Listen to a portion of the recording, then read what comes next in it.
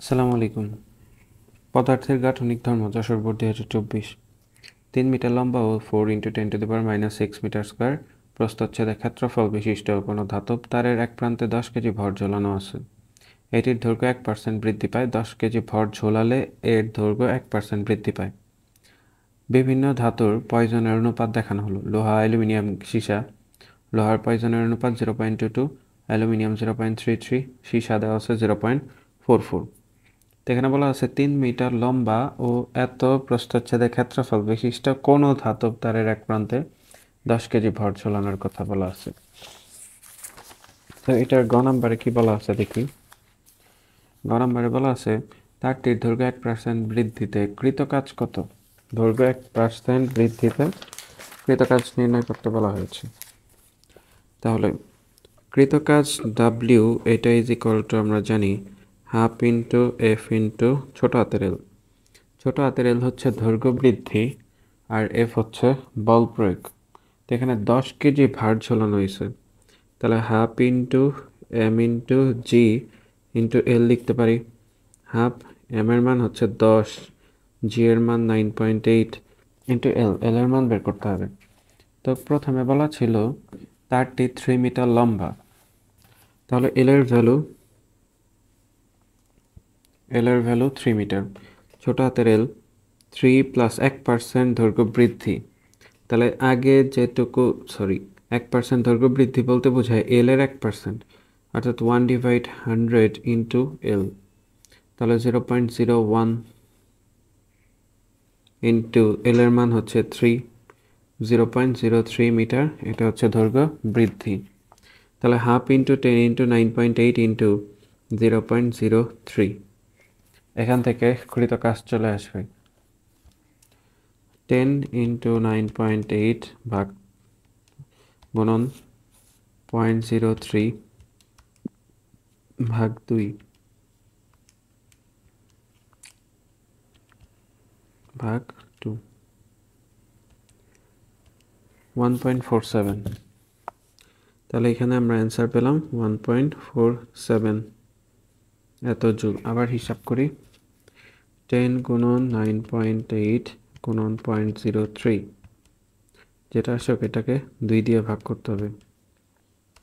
One point four seven যুগ, এটাই গ নম্বরের অ্যান্সার আশা করি গ নম্বরটা সবাই বুঝতে পারছেন। One point four seven joule এক পার্সেন্ট দৈর্ঘ্য বৃদ্ধিতে one point four seven joule কাজ সম্পন্ন হয়। এই ঘ নম্বর কি বলা আছে? ঘ নম্বর বলা আছে যে তারটি কোন পদার্থের তৈরি মতামত তারটি কোন পদার্থের তৈরি। অর্থাৎ এখানে তিনটা পদার্থের কথা উল্লেখ আছে। তিনটা পদার্থ লোহা, অ্যালুমিনিয়াম আর হচ্ছে সীসা, তাদের পয়জনের অনুপাত দেওয়া আছে। তাহলে উদ্দীপকের তথ্য থেকে আমাদের পয়জনের অনুপাত বের করতে হবে। তো উদ্দীপকের তথ্যে বলা আছে, দৈর্ঘ্য এক পার্সেন্ট বৃদ্ধি পায়। তো একটা পরিবাহী তার এরকম। এইটার দৈর্ঘ্য আমি এক পার্সেন্ট বৃদ্ধি করলাম।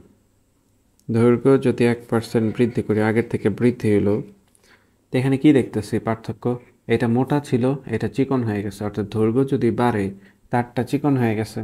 কিন্তু আয়তনের কি কোনো পরিবর্তন হবে? এইটার যে দৈর্ঘ্য আর ক্ষেত্রফল, এইটার যে দৈর্ঘ্য, ক্ষেত্রফল, এই দুইটার জিনিসের গুণফল সবসময় কনস্ট্যান্ট থাকবে। অর্থাৎ আয়তন তো পরিবর্তন হবে না, কারণ এখান থেকে কোনো অংশ খুলে তো পড়ে যায়নি। তাহলে এটার যে আয়তন, এটার সেম আয়তন। তাহলে এখানে এটার আয়তন ধরলাম ভি ওয়ান এটার আয়তন ধরলাম ভি টু তাহলে V one is equal to V two দুইটার সমান হবে। এইটার প্রস্থচ্ছেদের ক্ষেত্রফল এ ওয়ান আর এটার আদি দৈর্ঘ্য এল ওয়ান এটার প্রস্থচ্ছেদের ক্ষেত্রফল এ টু আর এটার পরবর্তীতে দৈর্ঘ্য হয়েছে এল টু এখন এল টু এর ভ্যালুটা কত হবে? দৈর্ঘ্য যেহেতু এক পার্সেন্ট বৃদ্ধির কথা বলা হয়েছিল, ছোট হাতের এল এর মান zero point zero three metre তাহলে L two is equal to কী হবে? আগে দৈর্ঘ্য ছিল three plus zero point zero three, দৈর্ঘ্য বৃদ্ধি জিরো পয়েন্ট জিরো থ্রি হয়েছে। তাহলে দৈর্ঘ্য হয় three point zero three metre L two এর ভ্যালু এ ওয়ানের ভ্যালু কত দেওয়া আছে? থার্টি ফোর প্রস্থচ্ছেদের ক্ষেত্রফল four into ten to the power minus six প্রস্থচ্ছেদের ক্ষেত্রফল four into ten to the power minus six তখন এই তারের দৈর্ঘ্য ছিল তিন মিটার। যখন এই তারের দৈর্ঘ্য হয়েছে three point zero three metre মানে দৈর্ঘ্য বৃদ্ধি পেলে তখন ক্ষেত্রফল কি? কমে যাবে। কারণ আয়তন সমান থাকতে হবে।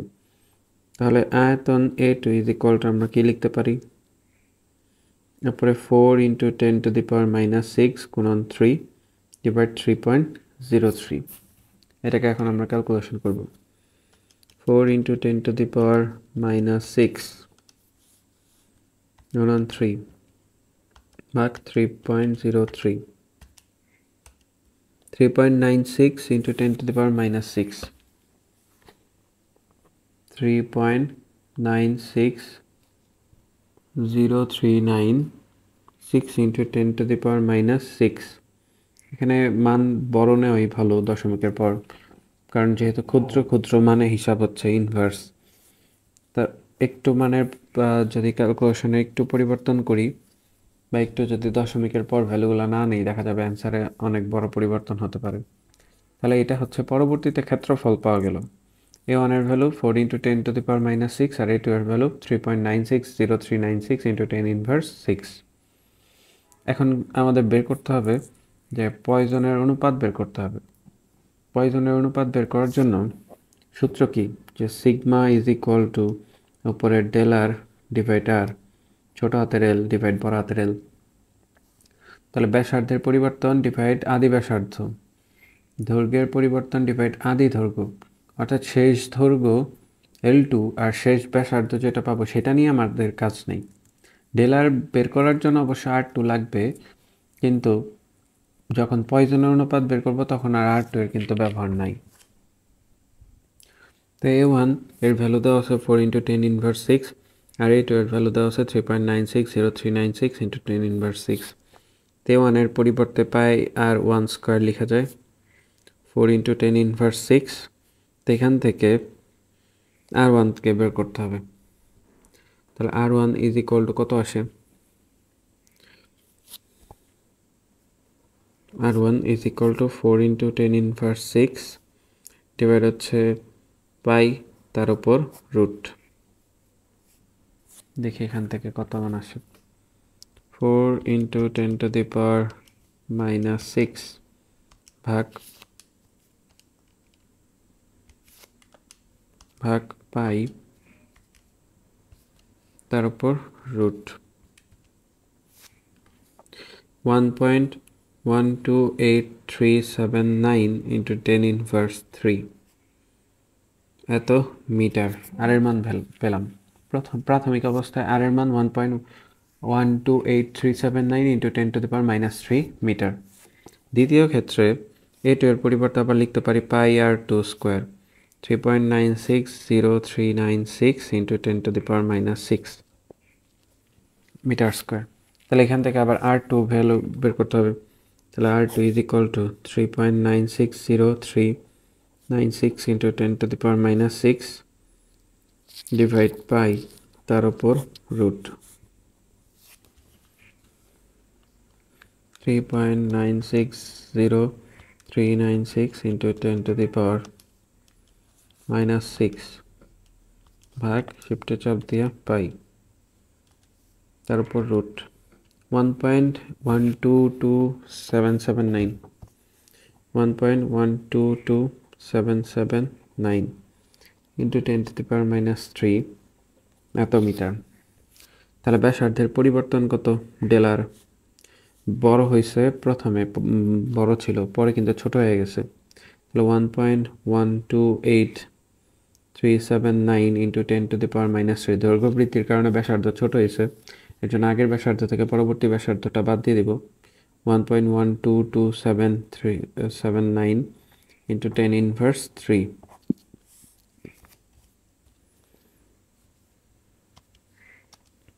one point one two eight into eight three seven nine into ten to the power minus three.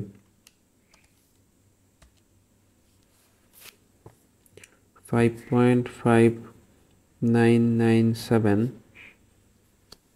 into ten to the power minus six এটা হচ্ছে এখানে সেভেন সেভেনও লিখতে পারি into ten to the power six metre এটা হচ্ছে ব্যাসার্ধের পরিবর্তন। এখান থেকে এখন আমরা পয়জনের অনুপাত বের করতে পারব।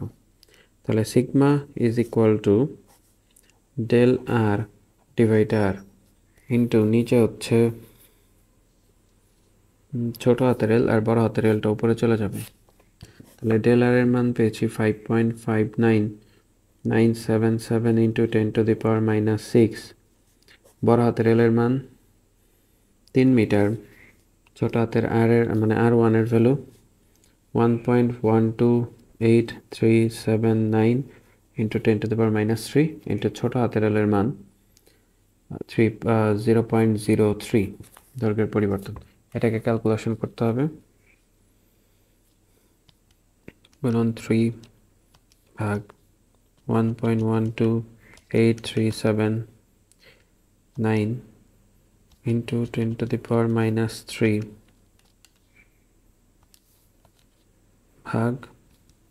zero three zero point four nine six two zero point four nine six two এটা হচ্ছে পয়জনের অনুপাত পেলাম।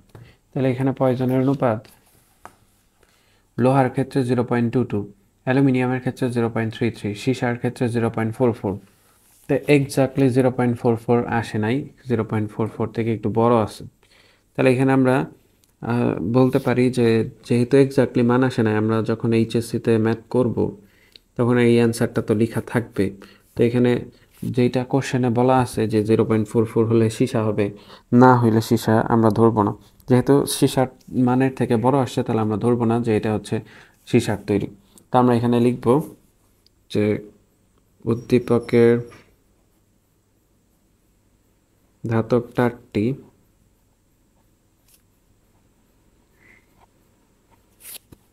তো উদ্দীপক অনুযায়ী